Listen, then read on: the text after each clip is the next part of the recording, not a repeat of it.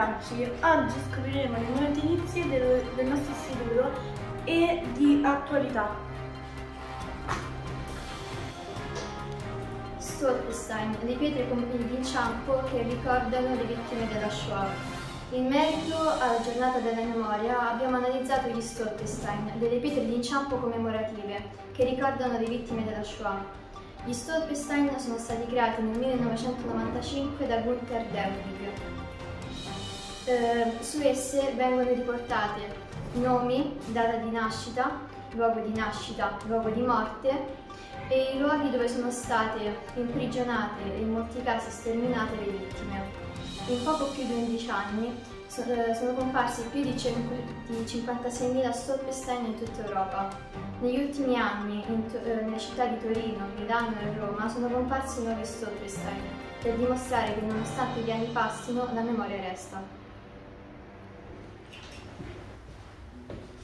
I ragazzi di giornalismo web hanno approfondito i temi di, della solidarietà e della collaborazione eh, sui giornali con i 30 ragazzi eh, che sono diventati alfieri della Repubblica. Il 14 dicembre Sergio Mattarella ha eletto eh, 30 ragazzi e ragazze come alfieri della Repubblica. Essi hanno ricevuto un diploma. Questo diploma diceva eh, che il loro comportamento eh, è sempre, eh, cioè, è, è e sarà per sempre un comportamento da cittadino esemplare per tutti ehm, e anche che eh, il loro comportamento esprimeva, esprimeva dei concetti importanti ehm, su, cui si, eh, su cui si fondava la Repubblica Italiana. Margot Friedlander al Parlamento europeo. Siamo tutti uguali. I reporter della scuola hanno approfondito il discorso sulla giornata della memoria ascoltando le parole dette al Parlamento europeo dalla sopravvissuta all'olocausto, Margot Friedlander. Il 27 gennaio, in occasione della giornata della memoria, il Parlamento europeo si è, riunito per parlare ed esaminare una sessione plenaria speciale. Friedlander, dopo il discorso della Presidente Roberta Mezzola, ha aggiunto Siete umani, non si può amare tutti, ma tutti meritano di essere rispettati. Non esiste il sangue cristiano, ebraico o musulmano, c'è solo sangue umano. Laboratorio di storytelling, dall'autobiografia alla biografia. Gli alunni della seconda sono guidati dalla professoressa Marinella Ferraro, hanno svolto un laboratorio in digital storytelling. Il percorso dall'autobiografia alla biografia. È iniziato con un approfondimento del concetto di narrazione e con una riflessione sui vari tipi di storytelling, passando poi all'analisi della parola autobiografia. Dopo questo primo momento teorico di sfilare, gli alunni si sono cimentati nella realizzazione pratica di auto. Narrazioni come mi racconti in un set, mi racconti in un quadro, roleplay, l'autobiografia di un personaggio, compito di realtà anche gli oggetti raccontano e racconto gli altri. Il digital storytelling è una vera e propria metodologia didattica trasversale che permette di apprendere nozioni disciplinari attraverso la narrazione e l'utilizzo di ambienti di approfondimento digitali. Come i libri prendono vita, Bookster che in realtà virtuale e aumentata. Progetto lettura che presenta un libro 3.0, gli alunni della classe seconda A hanno realizzato un book tech con la realtà aumentata e virtuale. Grazie all'applicazione CoSpace Edu e Google Workspace attivando competenze logiche oltre che narrative. La lettura non è mai stata così coinvolgente grazie alla realtà aumentata e virtuale, i libri prendono vita.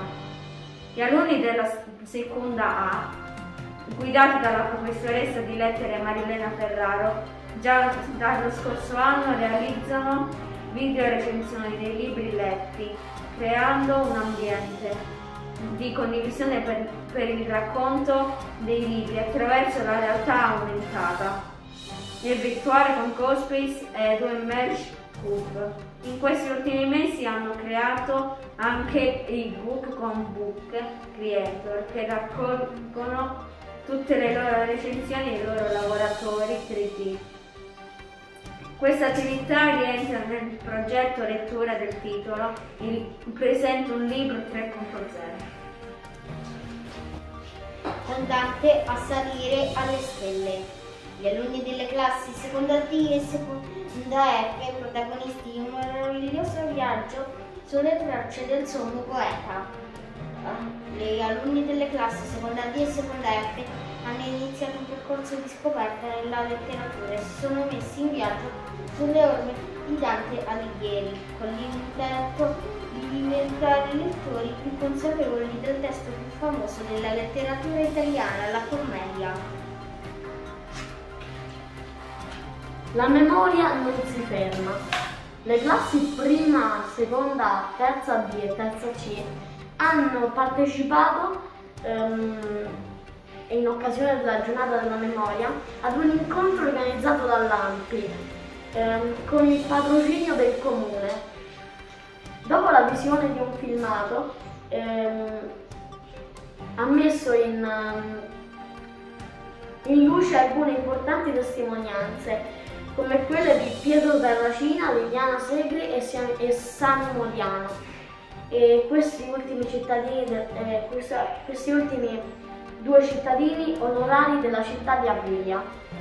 E è stata la, la volta di, de, di, due interventi molto interessanti ehm, perché mh, mm, non, bis non bisogna dimenticare quello che è accaduto, perché con questa cosa sono, sono morti 6 milioni di ebrei e come diceva, ehm, come diceva Primo Levi, comprendere è impossibile ma conoscere è indispensabile e, do e dobbiamo ricordare quello che è successo.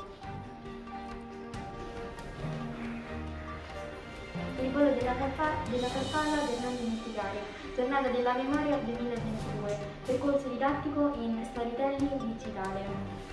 Anche quest'anno noi ricordiamo le vittime della Shoah con le classi prima A, seconda A, seconda C, terza C e terza G, tra letture, manifesti e realtà aumentata.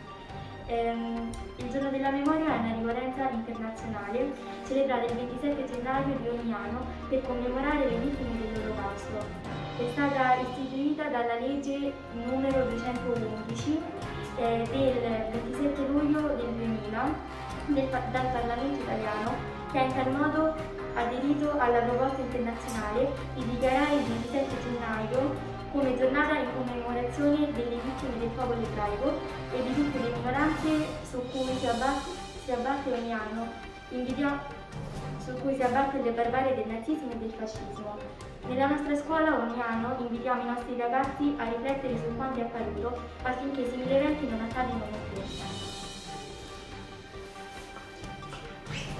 Giornata dei calzini spagliati, la diversità come ricchezza. Le classi della primaria e le classi della prima A e seconda A della secondaria il 4 febbraio hanno ricordato la giornata dei calzini sbagliati per sottolineare il valore della diversità. Se vi siete imbattuti in grandi e piccoli che indossavano calzini diversi tra loro, sappiate che non avete avuto le allucinazioni. Eh no, non c'è nessuna nuova moda che impazza in città, tantomeno un problema di lavatrici. La spiegazione più semplice ed eticamente nobile è la giornata dei calzini sbagliati nata una decina di anni fa da una maestra di scuola elementare. Social network per comunicare. I reporter del corso di giornalismo web incontrano le associazioni. I reporter dell'istituto, dell'istituto incontrano i membri dell'associazione Il Mercatino di Aprilia per conoscere come avviene la, la, comunicazione oggi ai tempi dei social. Durante il corso di giornalismo web, i reporter della secondaria hanno avuto modo di incontrare i membri dell'associazione Il Mercatino di Aprilia per affrontare il tema della comunicazione sui social network. I ragazzi, guidati dalla professoressa Marilena Ferraro, hanno incontrato il presidente dell'associazione Fabio Marconi, il vicepresidente dell'associazione Max Simeoni e altri due membri del, del gruppo Annunziata Calombelli e Santoro Cirillo.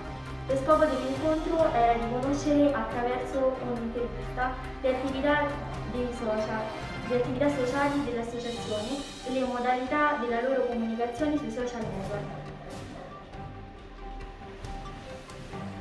L'istituto è stato nominato Gamba for Education District School. Siamo lieti di comunicare che l'Istituto Comprensivo Antonio Gramsci è stato nominato Gamba for Education District School, un riconoscimento che vede la nostra scuola sempre più all'avanguardia nell'utilizzo delle tecnologie in ambito scolastico e delle metodologie didattiche innovative ed, esclu- ed esclusive. Questa era l'ultima notizia per il mese. Seguiteci sul canale YouTube, ci vediamo al prossimo episodio.